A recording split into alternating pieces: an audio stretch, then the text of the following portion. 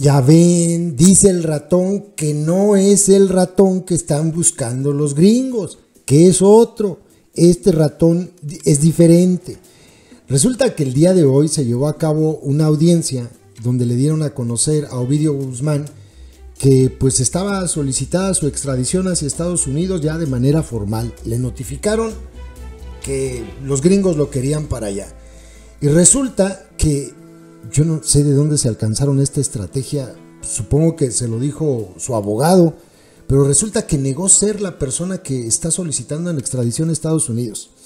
Rogelio Díaz Villarreal, el juez de control del Centro de Justicia Penal Federal en Almoloya de Juárez, Estado de México, le notificó el día de hoy, 7 de marzo de 2023, a Ovidio Guzmán López, alias el ratón, hijo de Joaquín Archibaldo Guzmán Loera el Chapo, así como presunto líder de los menores o uno de los líderes de los menores, la solicitud de extradición que realizó el Departamento de Justicia del Gobierno de Estados Unidos para que sea juzgado en las Cortes Federales de los distritos norte de Illinois y sur de Nueva York por 11 cargos de tráfico de drogas y lavado de dinero, entre ellos el delito de asociación delictuosa para distribuir cocaína, metanfetamina y marihuana en aquel país. Durante esta audiencia, la Fiscalía General de la República le notificó al hijo del Chapo el contenido de la petición formal de extradición que envió el gobierno de Estados Unidos, que busca enjuiciarlo allá por los cinco cargos de conspiración para traficar droga a ese territorio. Y a partir del día de hoy, Ovidio Guzmán podría empezar por tramitar un amparo contra la extradición y ofrecer pruebas en el proceso para intentar evitar su entrega hacia los Estados Unidos. Pero resulta que el ratón afirmó que las autoridades federales se equivocaron con su captura, ya que supuestamente él no es el hijo del ex líder del cártel de Sinaloa.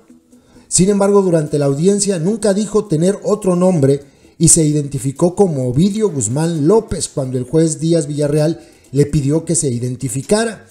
No soy la persona que ellos creen que reclama Estados Unidos, dijo Guzmán López, al final de la audiencia llevada a cabo por una videoconferencia que duró cinco horas y media. Por otra parte, Alberto Díaz Mendieta, el coordinador del equipo de abogados, coordinador del equipo de abogados, ojo, del, del ratón, anunció que va a presentar las dos únicas excepciones o argumentos con los que podía litigarse un juicio de extradición en México.